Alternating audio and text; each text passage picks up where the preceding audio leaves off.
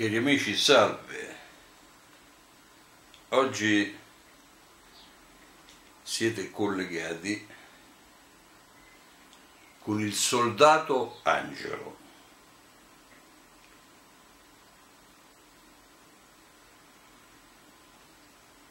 Ricordate che quando pubblicai un papello scritto dal mio avvocato che si intitolava Salvate il soldato Angelo, a mia insaputa si mise in moto tutto un certo meccanismo. E dopo qualche giorno la mia richiesta di avere delle armi fu esaudita. E fu così che ricevetti questa.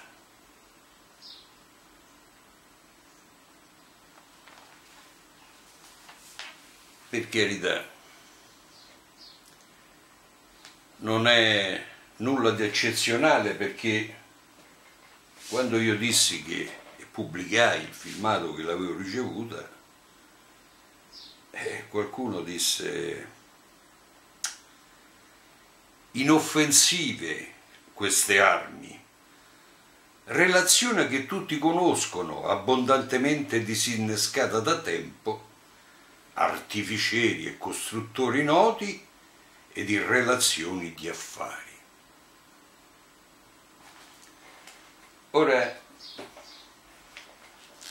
è vero, era una relazione conosciuta che tutti i consiglieri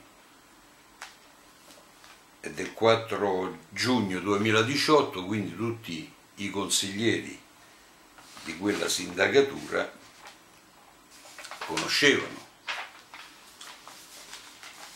Cosa volete che vi dica? Probabilmente ne avranno parlato anche in commissione, però come si sa, le commissioni sono aperte al pubblico, che non può intervenire come nei consigli comunali, ma nei consigli comunali c'è lo streaming, ci sono le registrazioni di quello che è accaduto, di quello che si è detto, di quello che si è parlato.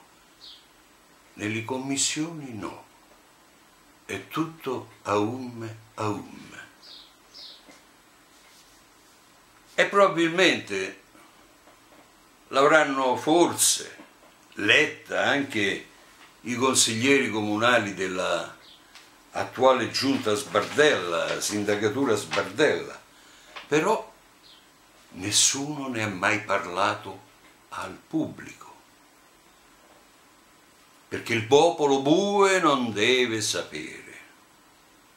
Sono tutte cose che trattiamo a um a um.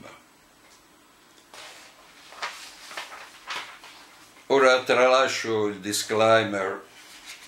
Le attività di verifica sono aggiornate al 4 giugno 2018, successivamente a tale data non sono state svolte ulteriori analisi, bla bla bla. Ma su questo interverremo in seguito. In questo, dire, lancio di agenzia che ci porterà ad esaminare tutto il papier, tutto il papier, affinché in minima parte chi è interessato possa apprendere cosa c'era scritto su questa relazione riferita all'azienda speciale STS Multiservizi, ma che parla anche della STS SRL, quella fallita. Come dicevo, parleremo anche di tutte queste cose, ma la cosa importante al momento è il contesto, è il contesto nel quale questi fatti avvengono. E il contesto ci dice che